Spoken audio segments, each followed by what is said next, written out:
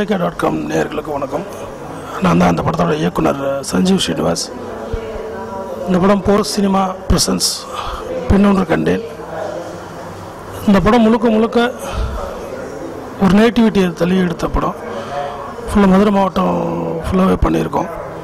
இந்த படத்தினுடைய கதை அப்படின்னு பார்த்தீங்கன்னா லைவாக அதாவது கவனிக்கப்படாத மக்களின் வாழ்க்கை என்ன? அவங்களுடைய டெய்லி வேஜஸ் என்ன அப்படின்றத நாங்கள் ரொம்ப யதார்த்தமாக படம் பிடிச்சிருக்கோம். இன்னும் ரொம்ப சந்தோஷமாக இருக்குது இது வந்து ஒரு ப்ரெஸ் மீட் ஏன்னா ப்ரெஸ் பீப்புள்ஸ் தான் எங்களை மாதிரி கலைஞர்களுக்கு வந்து பெரிய ஒரு ஊக்கம் இருந்து நாங்கள் புது டீம் வந்து உருவாக்கியிருக்கோம்.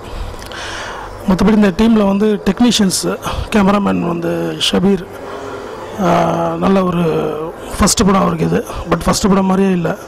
ரொம்ப தெளிவான ஒரு ஒரு ஃப்ரெஷ்ஷான லைட்டிங் பண்ணியிருக்காரு. அதாவது டோன்ஸ்னு சொல்லுவாங்க. அதாவது ஒவ்வொரு ஒவ்வொரு பேட்டர்ன் கிட்டத்தட்ட ஒரு ஆறு பேட்டர்ன் நாங்கள் பண்ணியிருக்கோம் இந்த படத்தில். ஆறு பேட்டர்னுமே ஆறு டோனில் இருக்கும். ஸோ விஷுவலைசேஷன் வந்து ரொம்ப ப்ளசண்ட்டாக இருக்கும் அந்த படம். பட் ப்ளசண்ட்டான்றனால இது லவ் பிக்சரானு கேட்காதீங்க.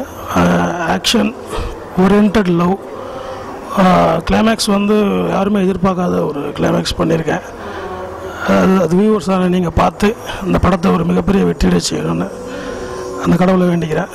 Thank you very much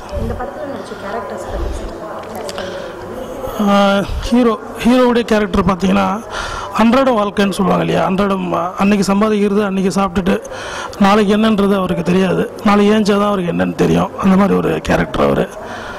heroine heroine வந்து பெரிய ஒரு சர்வீஸ் மைண்ட் உள்ள ஒரு பொண்ணு. ரொம்ப ரிச்சான ஒரு பேக்ட்ராப்பில் வர பொண்ணு. அந்த பொண்ணுக்கு என்னென்னா ரொம்ப சில பேரை பார்க்கலாம். ரொம்ப இறக்க குணமாக இருப்பாங்க. அது நான் நமக்கெல்லாம் அது எவ்வளோ இருக்குன்னு தெரியாது. பட் ரொம்ப இறக்க குணமாக ஒரு பெண் வந்து இருந்தால் எப்படி இருக்கும் அப்படின்றதுக்கு இந்த படத்தோட ஹீரோயின் ஒரு ரொம்ப யதார்த்தமாக பண்ணியிருந்தாங்க. அவங்க கேரக்டர்ஸ் அப்புறம் வில்லன் பார்த்தீங்கன்னா இதில் ரொம்ப லைவாக பண்ணியிருப்பார் மிஸ்டர் யுக்துவேல்னு சொல்லிட்டு. இந்த படத்தில் நாங்கள் அவர் இன்ட்ரடியூஸ் பண்ணியிருக்கோம். தமிழ் சினிமாவுக்கு ஒரு மிகப்பெரிய வில்லன் கிடச்சிட்டாருன்னு நீங்கள் எல்லாம் சந்தோஷப்படலாம். அந்தளவுக்கு ரொம்ப லைவாக பண்ணியிருக்காரு.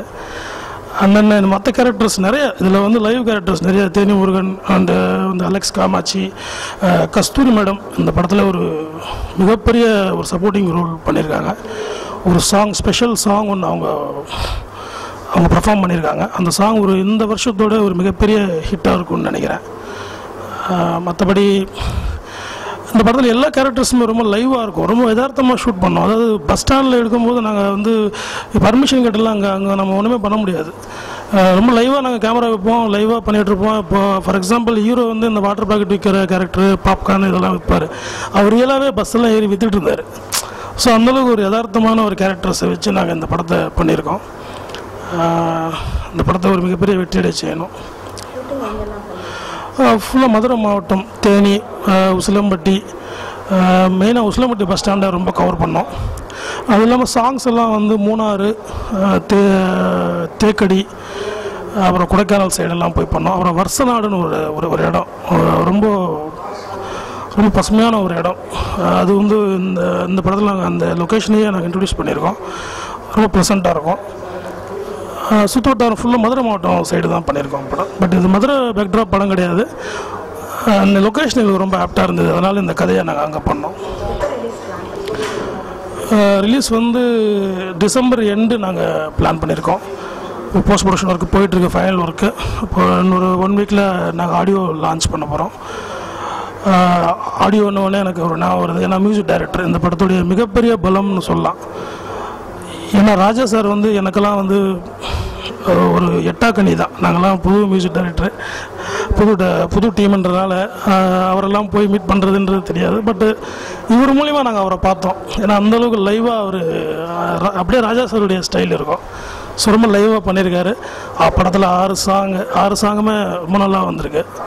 ஆறு சாங் ஆறு லொக்கேஷனில் நாங்கள் ஷூட் பண்ணியிருக்கோம் நல்லா வந்திருக்கு சாங்ஸ் எல்லாம். ஹீரோயின் அனாமிகா. அந்த பொண்ணு வந்து மிஸ் போபால் ஆக்சுவலாக போபால் மாநிலத்துடைய அழகி அந்த பொண்ணு. இந்த கேரக்டருக்கு ரொம்ப சூட்டபுளாக இருந்தது. ஏன்னா அம்மா வந்து நார்த் இந்தியன் அப்பா வந்து ஒரு மதுரக்காரர். ஸோ அவங்களுக்குள்ள லவ் மேரேஜ் இப்போ அவங்க அவங்களுடைய பொண்ணுன்னும் போது இந்த பொண்ணு எனக்கு ரொம்ப ஆப்டாக இருந்தது. ஆக்சுவலாக ரொம்ப பயந்தோம் நாங்கள் என்ன என்னடா தமிழ் பேச வருமா? இல்லை எப்படி அவங்களுக்கு சொல்லித் தருது அப்படின்ட்டு. But performance wise she is very nice ரொம்ப நல்லா பண்ணாங்க. ரொம்ப ரொம்ப ஒரு ஒரு பத்து படம் பண்ண ஹீரோயினுடைய அந்த ஒரு ஸ்ட்ராட்டஜிக் அதில் இருந்தது. நல்லா பண்ணாங்க. அவங்களுக்கு இந்த படம் ஒரு மிகப்பெரிய ஒரு ஓப்பனிங்காக இருக்கும்னு நினைக்கிறேன் நான். காமெடி ட்ராக்னா சொன்ன மாதிரி வந்து யதார்த்தமான காமெடி தான். தனியாக இதுக்கு காமெடி ட்ராக்குன்னு நாங்கள் பண்ணலை. இப்போ பஸ் ஸ்டாண்ட் அப்படின்னு பார்த்தீங்கன்னா பஸ் ஸ்டாண்டில் கண்டக்டர் வந்து நம்ம தேனி முருகன் சார் டிரைவர் வந்து கோடாங்கி நீங்கள் கேள்விப்பட்டிருப்பீங்க இந்த திருட்டு பயில படத்தெல்லாம் பண்ணியிருந்தார். அவர் அப்புறம் அலெக்ஸ் காமாட்சி அந்த காதல் படம் கோவால எல்லாம் ஒர்க் பண்ணியிருக்காரு. எல்லாருமே லைவ் கேரக்டர்ஸ் தான் இருக்கும். ஸோ காமெடியும் அதே மாதிரி தான். கதையோட வர காமெடி நல்லா வந்திருக்கு படம். நல்லா காமெடி வந்திருக்கு.